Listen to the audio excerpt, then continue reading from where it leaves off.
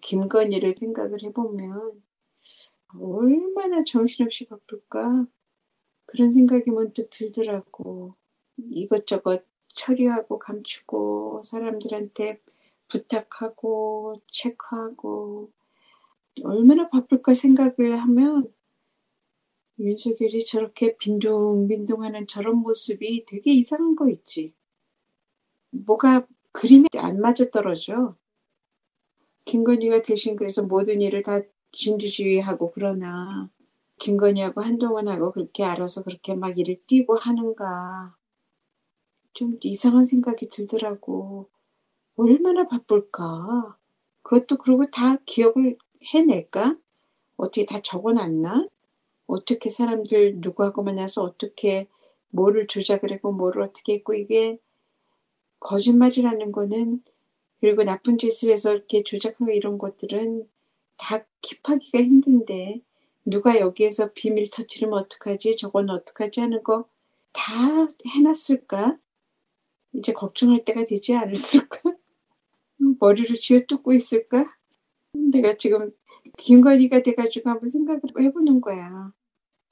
이렇게 많은 사람들이 욕을 하고 감방 가라 학교 가라 막 난리인데 얼마나 많은 것에 걸려 있을 텐데 그거 어떻게 다 관리하지? 너희들 다 알아서 해 이거야 그냥 그렇게 안 되거든. 관리가 소홀하면 일을 해주는 사람도 뭐가 자기네들한테 관심이 내려오고 일한 것에 대한 어떤 치아도 있고 뭐 뭐가 있어야지 상이 있어야지 뭐를 계속하고 그러지 조금만 뭐 하면 저거 다 그냥 섭섭해하고 어? 다 삐지는데 그런 사람들만 모아놨잖아 좀 징조가 빨리 허물어지지 않을까 내가 뭐 그렇게 생각해 봤어 내가 김건희가 돼서 이 입장에 있으면은 정말 숨 막히고 정신이 하나도 없을 거다 이런 생각이야. 그렇게 뭐라 제껴라. 더 뭐라 제껴라. 나는 그 소리를 하고 싶어서. 음, 기회를 주지 말아야 돼. 그래서 자꾸 자꾸 자꾸 권투 선수가 쉴 새 없이 잽을 넣는 것처럼 그렇게 계속해서 작은 거 큰 거 뭐 계속해서 집어넣어야지 정신 없어가지고 실수를 펑펑 터트리게 그래야 된다고. 저 사람들 어떻게 잡나. 지금 나만 아니라 모든 사람들이 머리를 쥐어짜고 있을 거야. 어떻게 저들을 어떻게 잡아놓지? 검찰들이 저렇게 완전 방탄을 해주고 있는데 어떻게 잡아놓지? 그러고서 지금들 다들 생각을 많이 하고 있을 것이다. 나도 무슨 어떤 좀 특별한 힘이 있었으면 좋겠네.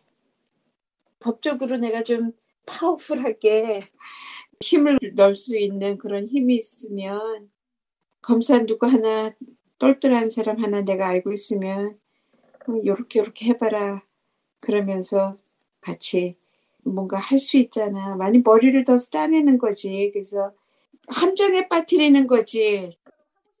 김건희하고 그 윤석열 저쪽 검찰들, 검, 검사들을 오히려 함정에 빠뜨려야지. 그 안에서 되도록이면 어떤 이야기가 나오더라도 뉴스거리가 나오더라도 사람들이 저들보다 더 법적으로 더 강력한 어조로 따져 묻고 들어가야 된다고 한동훈 같은 사람 따박따박 가르쳐가면서 내가 야단쳐가면서 하라 그랬잖아.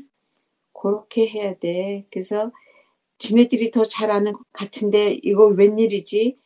내가 뭘 모르는 게 있는가? 이렇게 겁먹게 해줘야 된다고. 어, 지네들이 잘났는 줄 알잖아. 여태까지 그런 데를 성공했으니까.